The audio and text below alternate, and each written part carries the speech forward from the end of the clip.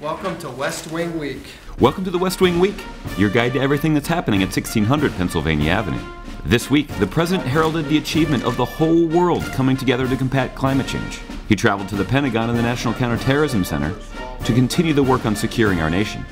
And he presided over a very moving naturalization ceremony at the National Archives. That's December 11th to December 17th, or My soon-to-be fellow citizen. That's a good-looking group. Huh?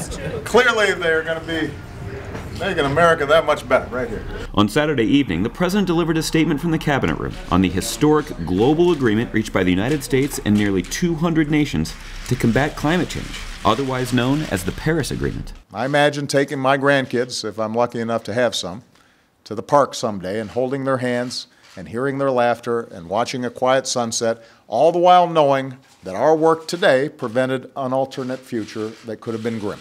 That our work here and now gave future generations cleaner air and cleaner water and a more sustainable planet. And what could be more important than that?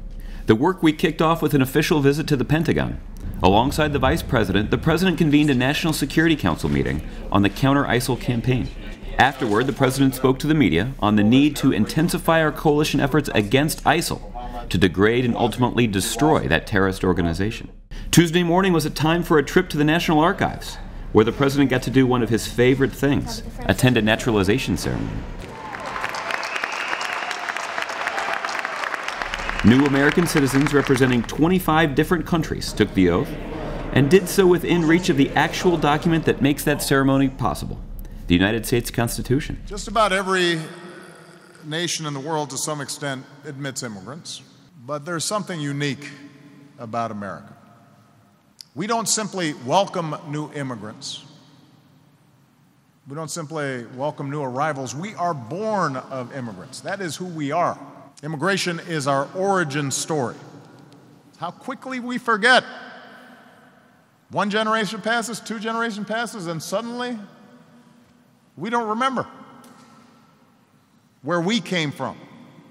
And we suggest that somehow there is us and there is them. Not remembering we used to be them. Later, the People's House served as a stop for Eden's Make a Wish scavenger hunt. Eden is battling brain cancer, and first dogs Bo and Sunny gave her a special clue to help her fulfill the wish she made to meet and ride a unicorn. On Wednesday, the president invited three term mayor of New York, Mike Bloomberg, to the Oval Office, where the two men discussed efforts to curb gun violence in America. On Thursday, in advance of the holidays, the president traveled to the National Counterterrorism Center for a threat briefing and to review efforts across our entire government to prevent attacks and protect the homeland. I want every American to know as you go about the holidays, as you travel and gather with family and the kids open their presents, and as you ring in the new year, that you've got dedicated patriots working around the clock all across the country to protect us all. Oftentimes they're doing so by sacrificing their own holidays and their own time with families. But they care about this deeply and they're the best in the world.